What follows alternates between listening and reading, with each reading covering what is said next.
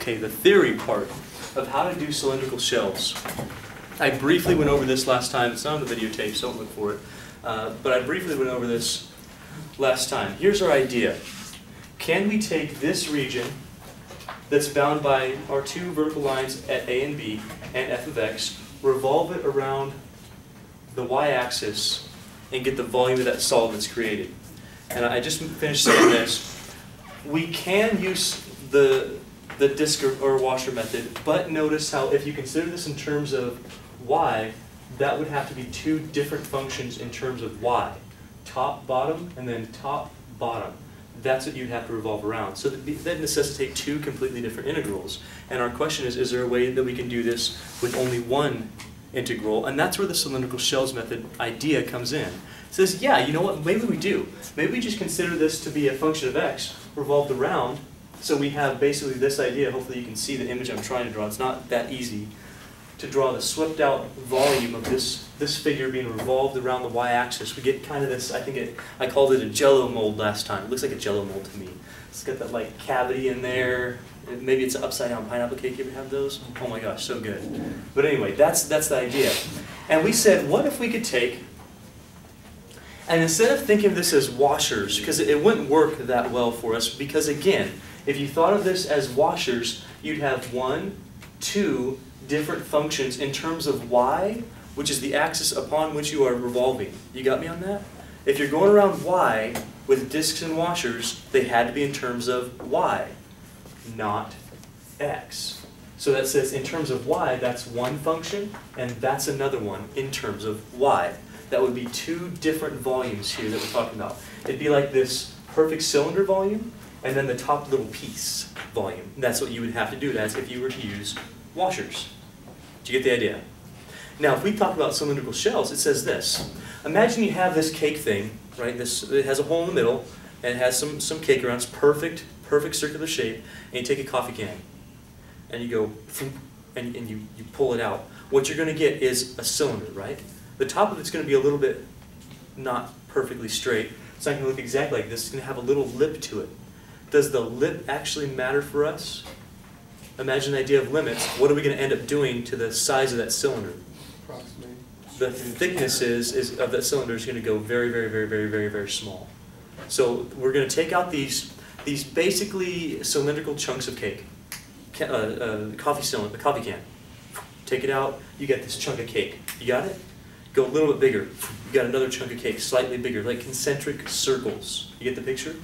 Bigger. And you keep on slicing this cake up with these larger and larger coffee cans. Now, eventually, we're going to say the coffee can is increasing infinitesimally small. So they're, they're all just little circles uh, that, are, that have some sort of height to them, barely any width at all. That's the idea of that limit, right? Taking that width to zero, and then find the volume of each of those cylinders.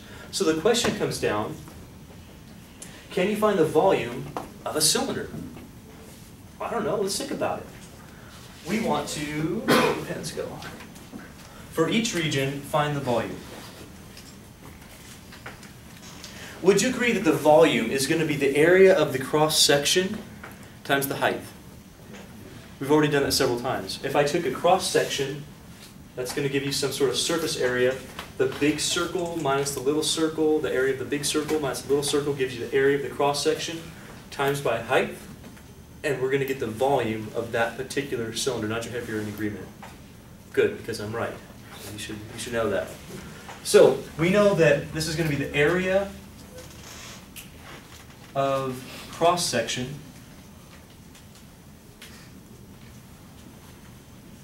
times height.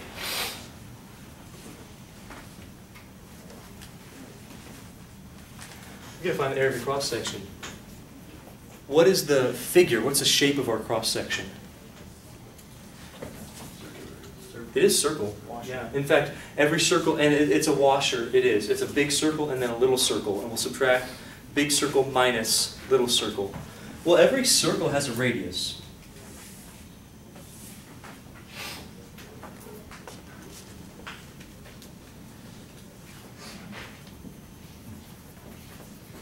Every circle has a radius.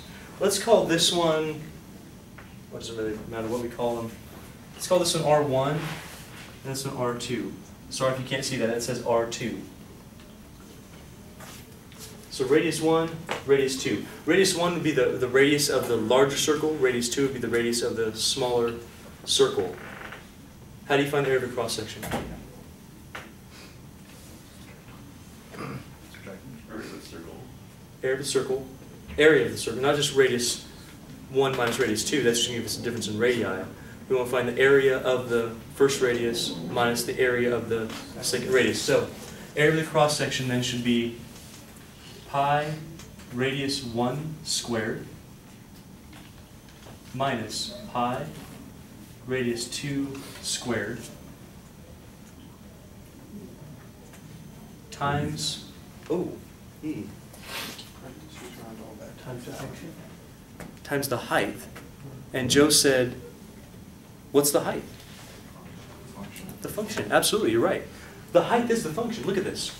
Can you see that the height at each little piece is going to be the function's height? Now, we're, we're going a little bit uh, beyond where we're at. We're, we're just talking about a cylinder right now. The cylinder, let's kind of imagine that it is flat. The height is going to be the function's height wherever that would be. You follow me on that? Now, when we get to this point, we're going to have to pick the arbitrary point in between. That's what we're going to do over here. The arbitrary point. We'll find the height at the arbitrary point, which won't matter because our, our distance between points will go to zero, saying the arbitrary point, it's fine. So times the height, well, the height is the function at x. So what that means. You know what, let's leave it. Can I do this later? I don't, I want to be very accurate about it. I don't want to give you f of x. Can I just leave it h for now? I'll work around it. I'll, I'll get you f of x over here. I want to give you h. That way I can pick an arbitrary point and be actually really accurate. So would you agree that this is the volume? Think about it. Area of big circle minus area of a little circle. That gives you the section, or the sectional area, the cross-sectional area, times the height. That's going to give you a volume. Not sure if you're all right. I'm going to do some fancy math with you. Ready for some fancy math? Yeah? Sure. Okay, fancy. First, first math, not fancy math. We're going to factor out the pi.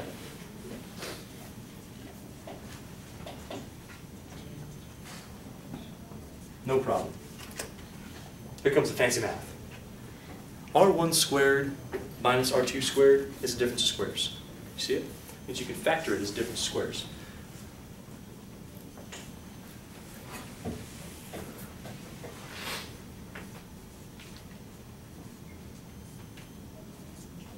Which means I can do that. Difference of squares says that. If you don't believe me, distribute it. Take this times this, you will get that. True statement. Now comes the real fancy math. And nothing's really hard, but I'm trying to get this in terms of things that you're going to understand in a second. Uh, what I'm going to do, would you agree that if I multiply this expression by 2 and 1 half, I really haven't changed the value? Multiply by 2, and I multiply by 1 half. 2 times 1 half gives you 1. So I'm going to be multiplying by 1 in a very special way here. What I'm going to do is say, I'm going to make it 2. I'll use black so you see the change here.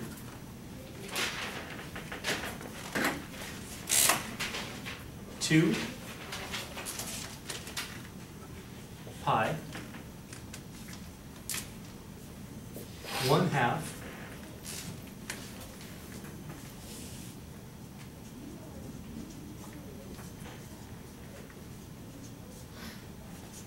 then all that stuff.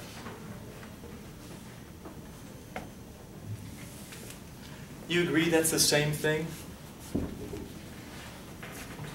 Same expression? Same value at least? I want you to think of what we actually have here. If I reorganize this just a little bit, what do I want to do? I want to do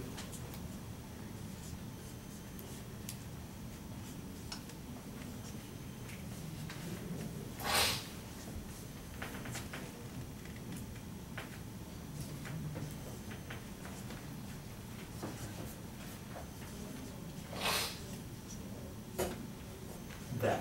Just reorganized. I move this here, move the H here, and put a bracket around the 1 half times the, the radius 1 one of them be plus. We're not adding, we're multiplying. Well, which one? Which differences? Oh, sorry, yes, thank you. Good call, Shane.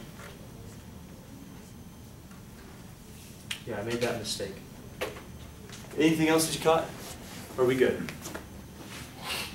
Pretty sure we're right. I've just categorized, I've just organized these ones, put a bracket around it, moved this here, but I want you to think of what this, this means. H is the height, sure. What is R1 minus R2? That's the second one, isn't it? R1 minus R2, what's it represent over here? The thickness, that's exactly right, the difference in the radii, very good, which would give you the thickness of the shell. You, you follow me on that? This is gonna be the thickness of the shell. What's one half R1 plus R2? What happens when you add two things together and multiply by one half? You get the average. This is the average of the radii. So the average of the radii, this is the thickness of your shell. So basically what I've got for you here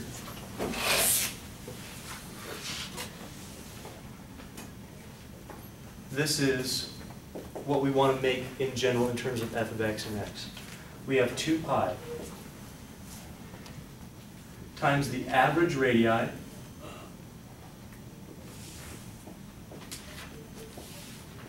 or average radius, I'm sorry, times the height times the thickness.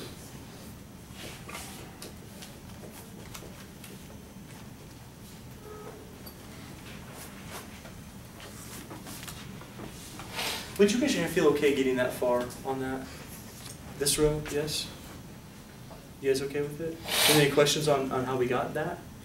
Little manipulation, but it really comes out to average radius, sure, height, and then we have our thickness. What we're gonna try to do now is match up parts in terms of f of x and these things. Joe, question?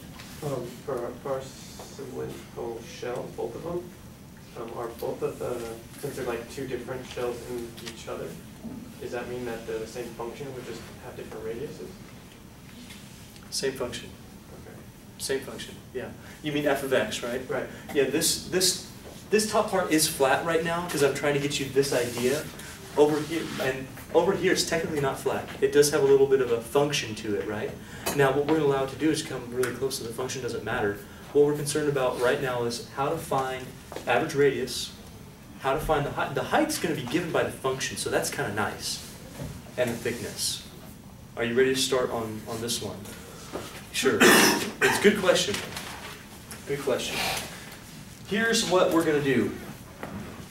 We're gonna make a shell within this cylindrical shell. One little cut. We're gonna make a cylindrical cut, basically.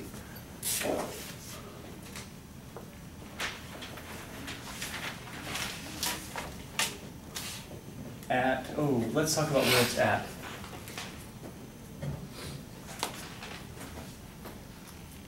If this is x sub k, it has to stand for a random shell, right? Just some random cut, x sub k. If this is x sub k, what we're doing here basically, think about this. We're gonna take, this is gonna be kind of a weird concept, but, but think about finding the area, how we took little cuts, right? We took all these little sections, like this. You with me? Where each of the thicknesses were delta x. True? If I take those cuts and I revolve them also around the y-axis, you see how I'm gonna get the shells? I'm gonna get those coffee can things. I'm gonna get the shells out of it. So this is x sub k. This one's gotta be x sub k minus 1. It just stands for the previous cut. What we're gonna do is, within this solid shell, we're gonna make another cut. An arbitrary point, how do we call our arbitrary points? What do we label them? XK dot. Look, I'm, I'm trying to make this so you understand it from the area idea. This was like x sub 1, x sub 2, x sub 3, x sub k, whatever it was. And we took an arbitrary cut in here, xk dot. You remember that? If we take an arbitrary cut in there, we're going to make a cut at xk dot, but that cut's going to go all the way around our figure.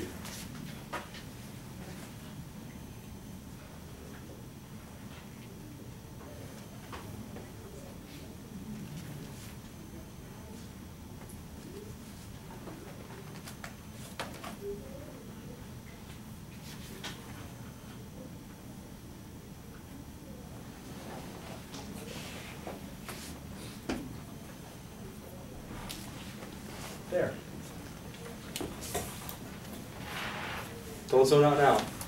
Don't zone out now. Now, here's the key to doing this appropriately for us. We have to choose xk dot to be the midpoint of that interval. You'll see why in a second. So make a cut at, at xk dot, which is going to be the midpoint of our section.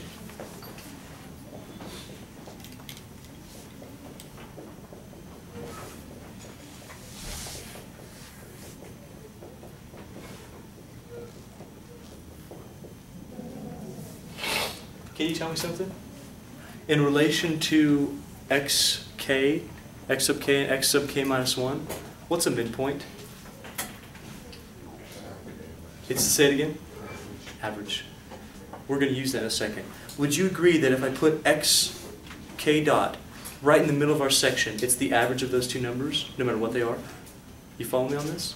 Okay, so this is, this is basically the average. Average. Okay. Only two more things we have to do. What is the thickness? What's the thickness from here to here? It, it, it's xk minus what? No, xk dot, that would give you half of it. XK one. xk minus 1. Very good. Yeah, that's, that's right.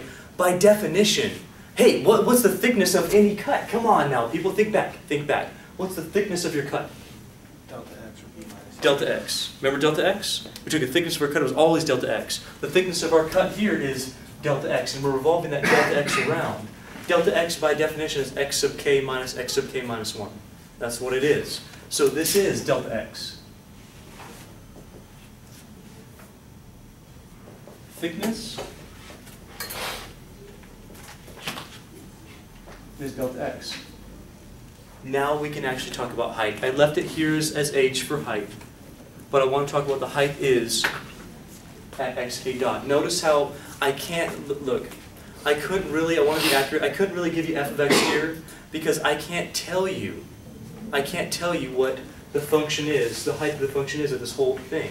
But as soon as I pick an arbitrary point, as soon as I pick that exact point, can you tell me the height of that exact point? Yes. That's the difference. So as soon as I pick xk dot, how much is our height? Uh, F of XK dot. Very good. Yeah, height is f of xk dot.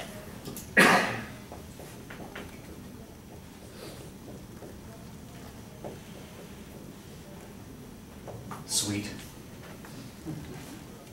Love it. You know what? We're almost done. Almost done. Let's look at what we wanted to find. And you said you understood this, right? At least you said. Hopefully you didn't lie to me.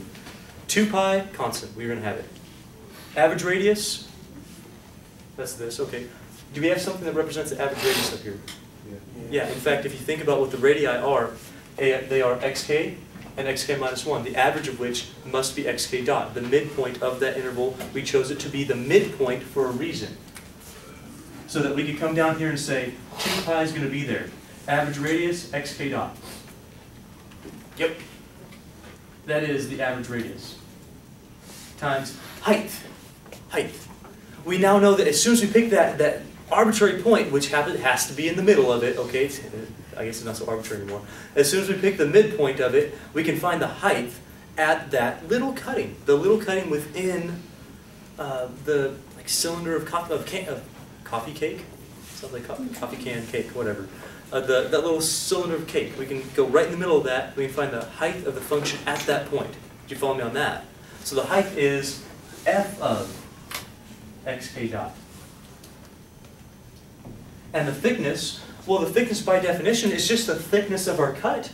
The thickness of our cut revolved around the whole thing, revolved around the y-axis. The thickness of this piece then has to be delta x. So there's our That's not our formula.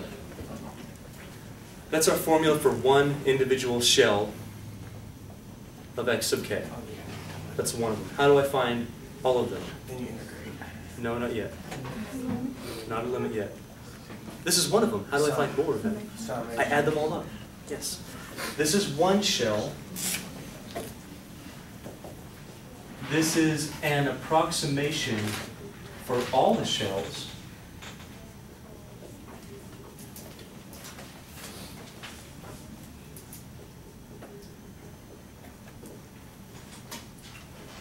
Approximation for all the shells.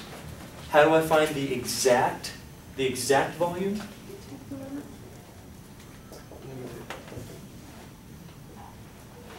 As what? Good. Yeah, it says basically, take that coffee can and make an infinity number of them, where they go out just a teeny little, little bit.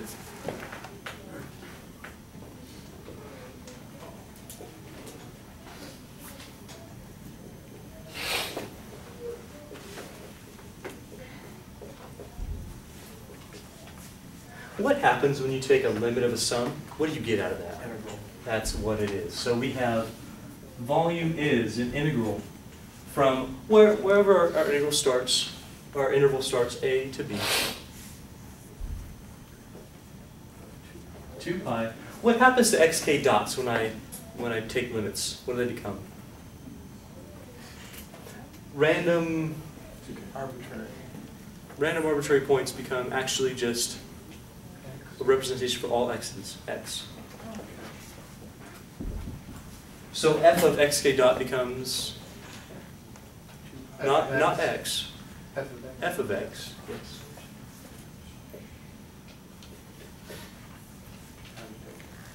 And what do delta x's become?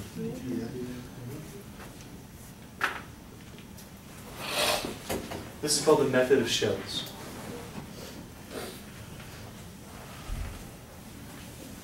Also, please note, it's perfectly appropriate to do this around the other axis. You got shells going either direction. Yep. But you're gonna note one thing. Please, this is where people make just big mistakes. I'll Try to make it real clear. It's kind of like the punchline for us. We got a few minutes left, but it's kind of like the punchline, okay? When we did shells and washers, the axis upon which you revolve, like the x-axis, is the terms in which your function must be. So in order to go around the x-axis, you had to have in terms of x, y-axis in terms of y. Look what happens here. It switches. This is around the y-axis, it's got to be in terms of x. Okay? Around the x-axis would be in terms of y. Look at it. We're revolving this around the y. It's still in terms of x. We never switched variables. So please make sure your notes are correct. This is for, I'm not making a mistake here. This is So it's kind of counterintuitive. this is what this is correctly, okay? I'm not making a mistake, I'm doing this deliberately. This is around the y-axis.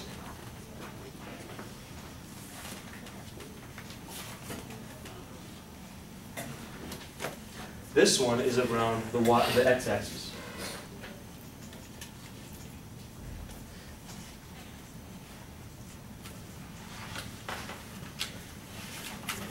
True statement, true story. True story. Now, did you understand it? Yeah. I'd like to set one up for you, just one. You'll find out that they're, they're not too hard to set up. I, I, I want to make sure you see it before you go, because it's all been theory today, and it hasn't been anything substantial, well, it's been very substantial, but not anything concrete. I want to give you a concrete before you go. Can you guys hang on for a minute? Mm-hmm.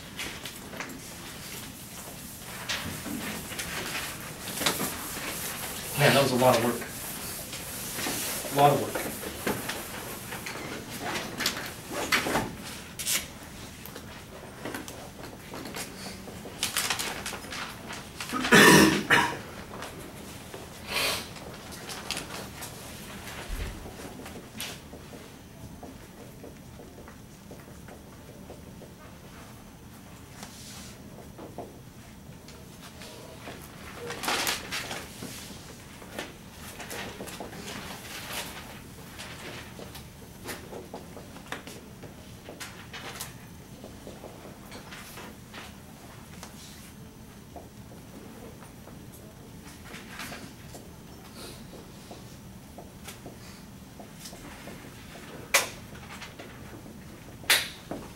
Find the volume of the region enclosed by y equals the square root of x, x equals 1, x equals 4, which are vertical lines, revolved around the y-axis. First question I have for you. Since we're revolving around the y-axis with this method, cylindrical shells method, is this okay or not? Around the y-axis, okay or not? No. In terms of x means your terms are x's. Solve for y. Okay, maybe this way. Around the y, solve for y. Around the x, solved for x. Okay, in terms of x, in terms of y, different. So is this appropriate for around the y with this cylindrical shells method? Would it be appropriate for, for uh, discs or washers? No, no, it's different. It's like backwards, so be very careful on that. Now, we'll set this up. Here's what this says to do. The volume is integral from, where do we start? Um, x equals 1, it's very line, going around. 1 to 4. They're clapping for me. We're good. What goes in inside? Come on, help me out real quick. Tie that. 2 pi. Look at what happens. Look what this says. It says x. No matter what, you're going to have an x there. So you just tack on an x. Then it says f of x. What's f of x? And then? So this is the integral from 1 to 4. We'll pull out the 2 pi. Let's do that. We have x times square root of x dx. How do you do that integral? x times the square root of x dx. What would you do? Exponents. Yeah, exactly. So 2 pi x times x to the 1 half power dx. 2 pi. Hopefully you can do this in your head. We have a 1 and a 1 half. That's going to be 3 halves. Is the integral really hard? No. Set up, just set up. 1 to 4. We've got 2 pi.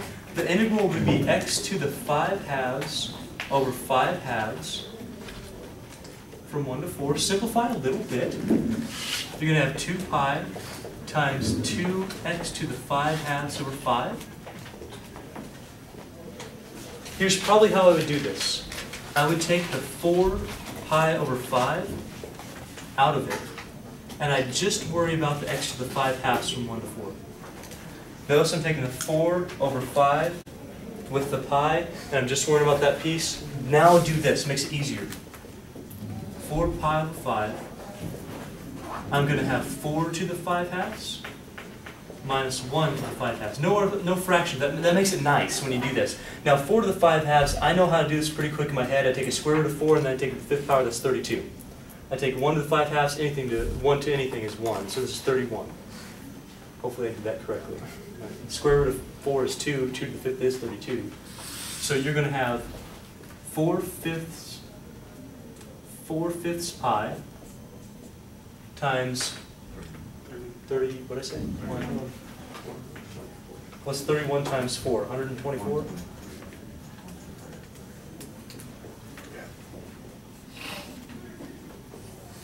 Your volume is 124 pi over 5, without having to do shell, uh, washers or discs, shells. Well, we're continuing talking about how to do some volumes. Now, we, of course, we've covered some disc method and washer method. We're just getting into the cylindrical shells method, which is the idea of, I think I mentioned the cake and the coffee can, right? Cutting slices of cake out and finding the volume of each cylinder, and then we're adding up all those cylinders. So it was different than shells and washers because, I'm sorry, discs and washers, because with discs and washers, whatever axis you're revolving around, that's what the, the functions need to be in terms of. So around the x-axis, in terms of x. Around the y-axis, in terms of y. The cylindrical shells method kind of flips that. It says if we're going around the y-axis, that's when you want it in terms of x. If you're going around the x-axis, that's when you want it in terms of y. Are you following me on that? It's, it's, it's backwards, it's almost like it's backwards, so that gets confusing for a lot of people. So let me ask you this, in this question, if we're going to revolve some region around the y-axis, are these formulas good the way they are, or do we need to change those functions? What do you think? If we're going around the y-axis, it should be in terms of, you need to understand what in terms of x means. Is this in terms of x? This one's good either way, by the way, if you notice that. That's, that's fine. Uh, is this one in terms of x? Yes, this is in terms of x. Get it in your head that in terms of x means the terms should be x terms, they are. Or solved for y. So around the y for cylindrical shells, solved for y. Or in terms of x, those mean the same thing. They have to mean the same thing to you. So again, I ask this question, if we're going around the y-axis, which we are here, is this okay? Yeah. Good. Now, we remember that our formula for the volume was, what I give you, 2 pi x f of x dx? Only here, well, we got two functions. So we're going to do something very similar to find the area between two curves. Remember finding the area between two curves, how you took the top curve minus the bottom curve? We can do the same thing here. Same exact thing. We'll take the top volume minus the bottom volume. Basically, the top function will sweep out a bigger volume. The bottom function will sweep out a smaller volume. If we subtract those two volumes, what it will give us is basically the volume between the top function and the x-axis minus the bottom function and the x-axis, and that will give us the remaining volume between our two functions. So it will look very, very similar to area between two curves. For us, though, that means, well, firstly, how do I find A and B? And secondly, how do I figure out which one is on top? How would I find A and B in this case? What do you think? Okay, let's do that. Let's do x equals x squared. We can solve it.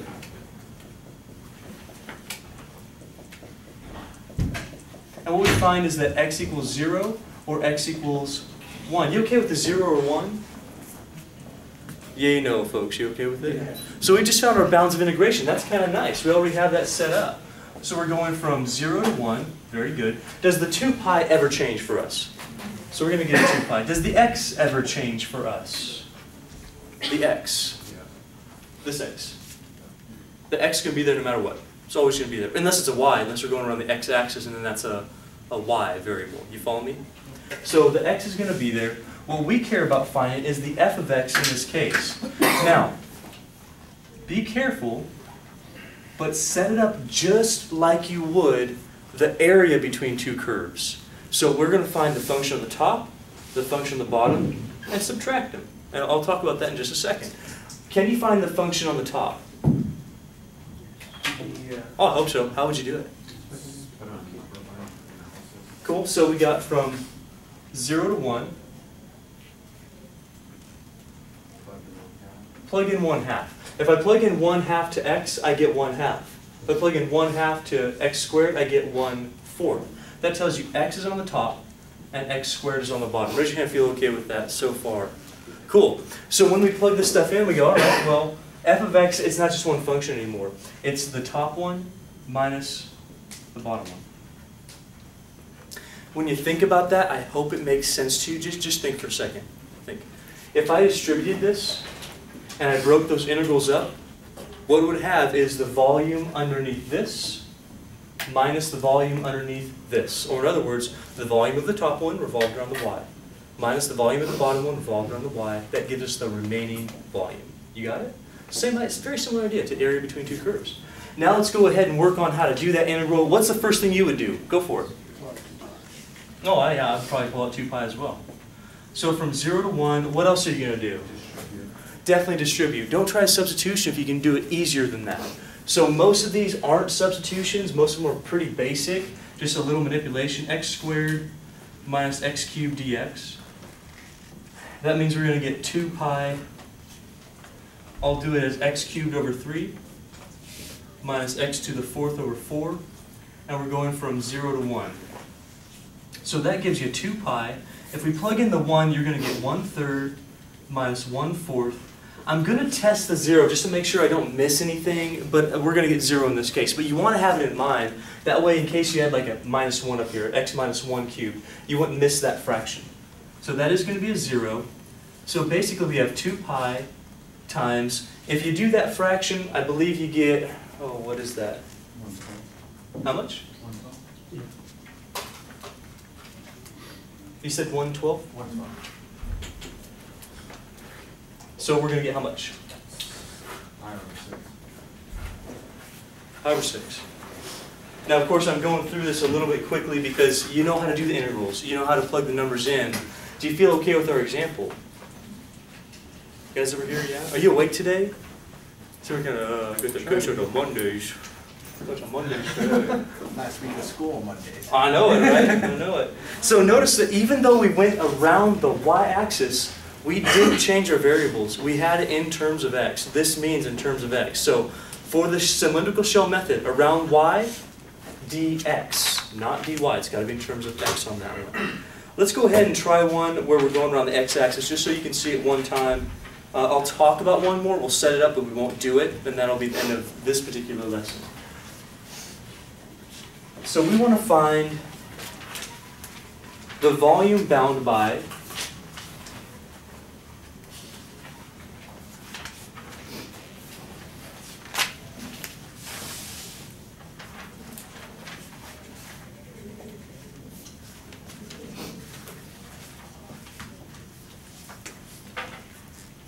volume bound by x equals negative, note the negative, x equals negative y squared plus 6y, and x equals 0 around the x-axis.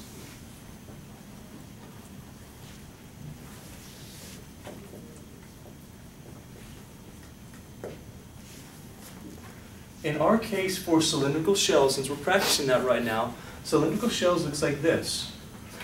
Oh wait, hang on. We're not going around the y-axis anymore, we're going around the x-axis. If we're going around the x-axis, for cylindrical shells method, our function should be in terms of what? Okay, are they in terms of y? Yes. Y's and y's. Yeah, that's great. In terms of y means solved for x. So for cylindrical, sh for cylindrical shells around the x, solved for x, or in terms of y. So for cylindrical shells, you go from c to d, 2 pi. Am I going to have an x here right now? What am I going to have? Okay, so make sure you make that change. We'll call it g of y dy. What's x equals zero?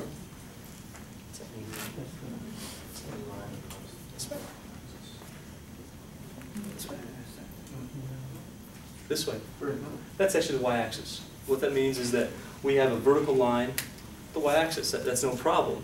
We're going to be taking is taking this function in terms of y and going this way with it. Now, since those are our two functions, but the second function is kind of nice, it's just a zero. How can we find our c and our d here? What would you do? Set it equal to what? Zero. Yeah, here we set the two functions equal to each other, right? That was, that's not a problem.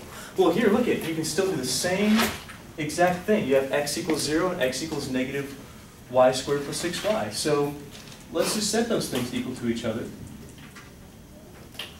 from here. Oh, how are you gonna solve it? I would do the same thing, factor a negative y out. You're gonna get, Zero. yeah.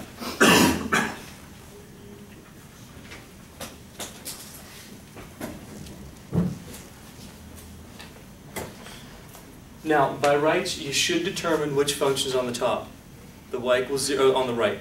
The y equals zero, or the, I'm sorry, the x equals zero, or the x equals negative y squared plus six y. So plug a number in there just to make sure, because you notice, if you did it backwards, you're gonna get a negative volume, right? If you do that, can you ever have a negative volume? So some of you on your homework who are giving me negative volumes, you're doing it wrong. You can't get a negative volume. It's not gonna happen. So I'm gonna take like a, a one, just plug in one. If you plug in one here, you still get zero. If you plug in one here, you're gonna get five. So that means this function is on the, in this case, on the right, or on the, on the top, but for, for y functions, we get on the right. So let's go ahead and try to set up our integral. Uh, can you tell me where we start and where we stop? If you want to see this again, it'd go from zero to six. You'd plug in the number one. If you plug in one, that's still zero. X equals zero. If you plug in one here, you get five. So that's negative y squared plus six y. That's on the top. I heard some of you say from zero to six, you're absolutely right. What's going to come first again? Tell, help me, help me out with that. Yeah, you know what? Don't forget the two pi. Some I was doing this problem quickly earlier, and I forgot the two pi. I'm like, wait a second. Pretty sure there's supposed to be a pi in there because we're circular, so I forgot all about it. So don't forget the two pi. That would make a big difference. Two pi, and then what else? Good. So this first part does not change. What does change is the g of y, depending on what we have first and second. Uh, what, what are we going to put for our g of y? Can you help me out with that? Good. Do I have to subtract off another function here? No. It would be zero. I'm not going to show the zero, but if you had a different function right now, you'd subtract off the second function. In this case, the zero would be on the bottom. Now, I forgot something kind of crucial. What am I forgetting here? Yeah, that's, that's huge. Okay, well, walk me through it again. What are you going to do? Factor in the two pi. Sure.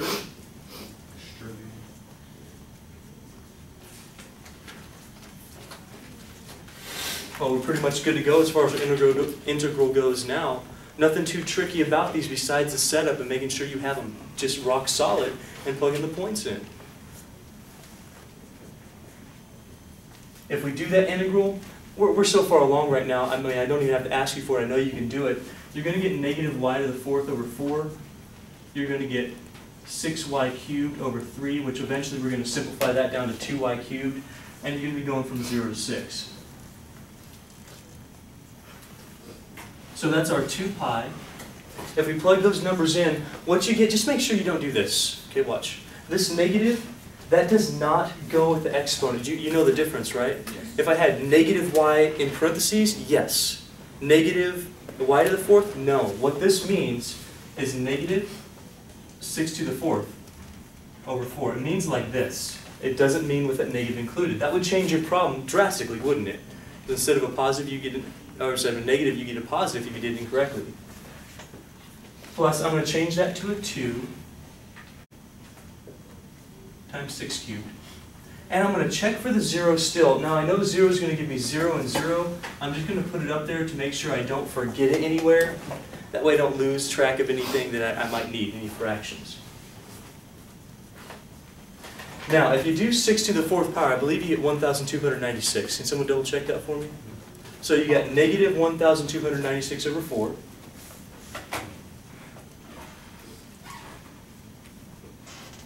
Plus, oh, you know what? I made a big mistake. Do you see it?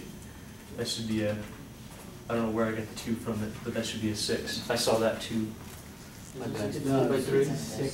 Oh, I did. Oh, I did it right. Oh, look at that. I was a genius. I did it in my head. My bad. You know why? Because I was going to do 6 to the fourth again and divide by 3. So 1296 divided by 3 would be easier for me. So either way, whatever. 6 to the third, then times 2. What do you get out of that? Four thirty-two. Now, I know 1296 is divisible by, divisible by 4. It's like 300 something, isn't it? 324? So when you combine those, the negative 324 and the positive 432, you get 108. So altogether, if you get 2 pi times 108, 216 pi is our volume. It's kind of a cool thing, right? Finding volume of these, these objects. So, so far we've done two examples in like a couple minutes apiece. We've done one where the region's bounded between two curves. We take it around the y-axis. We note that it has to be in terms of x for cylindrical shells. Second one, it's bounded by two curves, but one of them is a real simple curve. One of them is just x equals zero. It's going around the x-axis. It's got to be in terms of y. How many people feel okay with these two examples? I want to show you one more. We'll set it up. I'll leave it to you to finish it up because it's just going to be a basic integral. But I want to show you one more here. Um, I think I mentioned to you before that you can do many of these with the discs and washer method. You can, but it makes them harder sometimes. I want to show you that this example.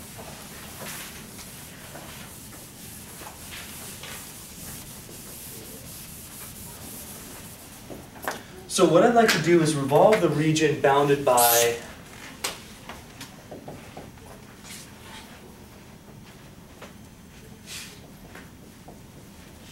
this, this, and this around the y-axis.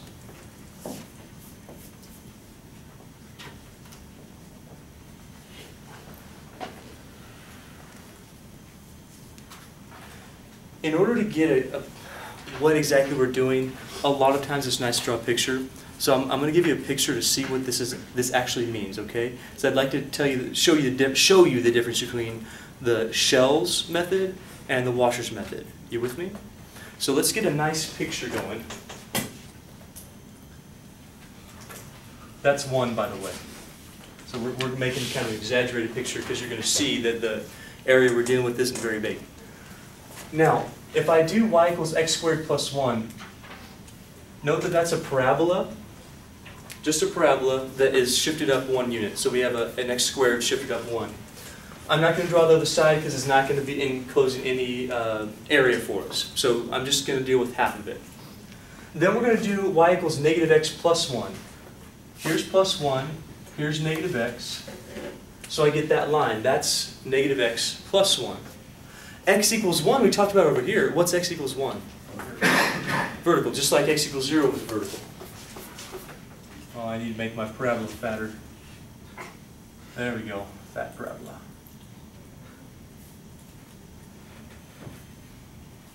We had anorexic parabola earlier. I don't want those.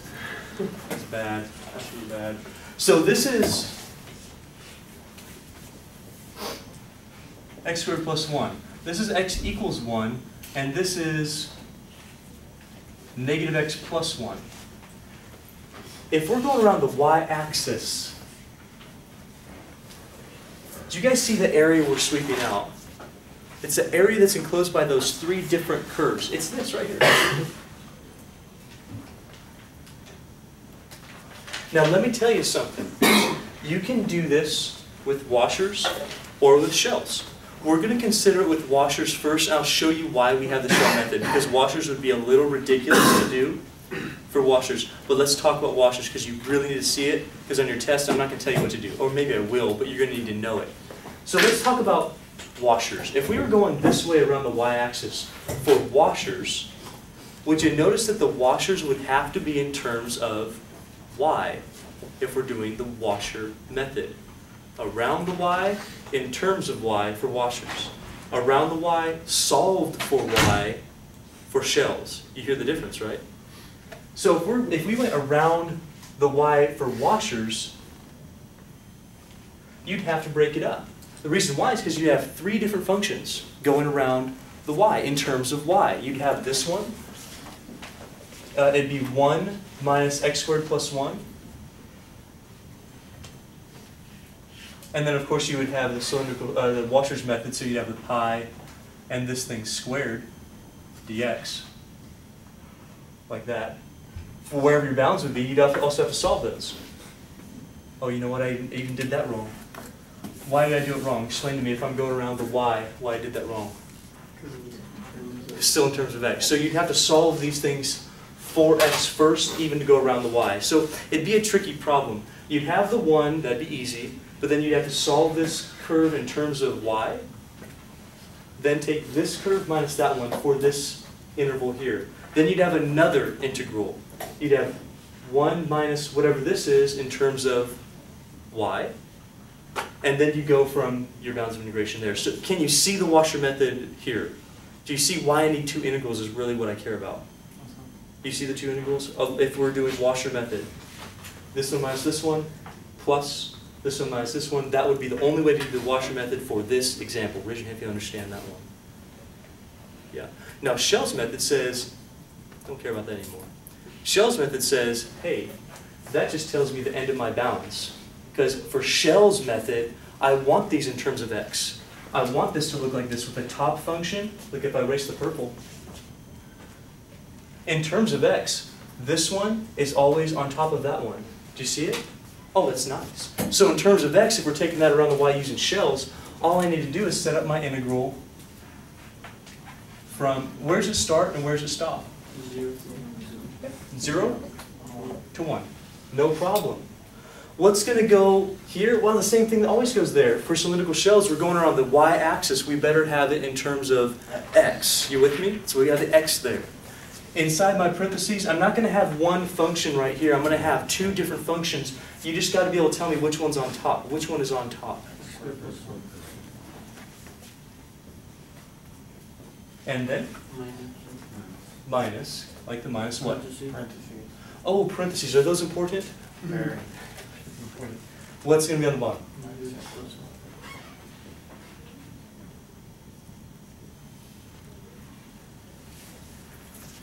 Still head nod if you're okay with the setup for our wa, for our, our shells method. We got our, in terms of x, because we're going around the y. That's how it works for shells method. We have the one on the top, yeah, great, x squared plus one. Subtracting off one on the bottom. You can really see from the picture here that if I was going around, the volume swept out by this entire curve minus the volume swept out by that entire curve gives me the volume between those two functions, between those guys. You get that as well? Cool. Top minus bottom. This is the same old cylindrical shells. If we do our integral, we're going to have our 2 pi, still have an x in there. But we definitely want to clean that up. x squared plus 1 plus x minus 1 dx.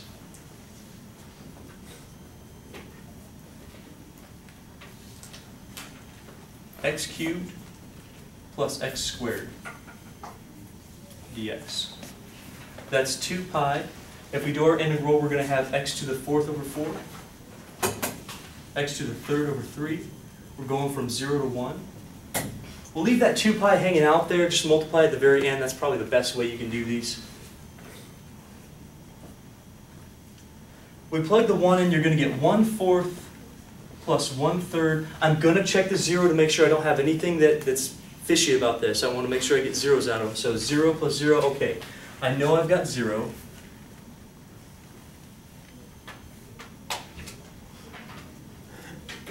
We got 2 pi, let's see, 1 fourth plus 1 third should give you 7 twelfths. And that will be 7 pi over 6 for our volume. 7 pi over 6.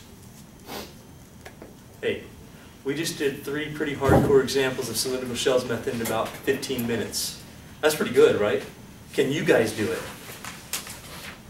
I don't know. That's up to you to really handle it. Did you understand it when I was doing it? How many people did feel okay with it? Now notice it's going to be easier because I'm doing it, right? I mean, I know the setup. You if you didn't have the picture of that, if you didn't have the picture, you'd have to find out where they intersected, or at least draw the picture, graph it on your graphing calculator, but at least find out where it started and where it stopped, and then find out which one's on top, very similar to what we did over here. Then the setup, the setup is the most important part. You've gotta set it up correctly. If you do, really, honestly, is are the integrals hard? No, they're really easy. Uh, the integral part of it. Plugging in numbers is just plugging in numbers, but the setup is crucial for you. You've gotta get the setup right. Do you guys have any questions on these two before I erase them? When can't we use cylindrical, cylindrical shells? We were talking, you showed us when we can't use washer method, or when we shouldn't use it. Well, you shouldn't. Um, well, we can't, why couldn't we just stick with shells and go through almost, I haven't seen any problems with any of the examples we've done. Sometimes it's hard to solve for the functions. Like if I gave you something in terms of, if I did this, um, around the x-axis, you have to go and you'd have to solve that for x. You have to have in terms of y, you'd have a square root up there. So basically, whatever, whatever the given is, use the, unless there's something complicated to it, use the appropriate form that makes it easier, easiest to set it up. Do the easiest thing possible. Yeah. You have now two ways, right? Two methods. Three. Well, two, really. Yeah. Disk and washer is the same thing. And this, I mean, notice, this Yeah. and this was the same, we subtracted functions, but the same thing is disk and washer. Uh, this is like the, this is like the washer version, washer version of cylindrical shells, this is like the disk version of cylindrical shells, if you, if you will, uh, but they're the same. So you have washers and you have cylindrical shells. Use the one that is easiest for you, the one you have to do the least amount of work. We're lazy people, right? You don't want to do it the hard way, easy way. Easy way, come on. All right, how many people feel okay about it? Do you feel all right? Any last questions before we go on? Any last words? You ready for the last section of calculus for us? Sounds easy. Um, easy. Easy is a relative term. I'll say that the integrals will be just as easy. It's just another formula you have to know, really. Uh, of course, I will derive the formula for you.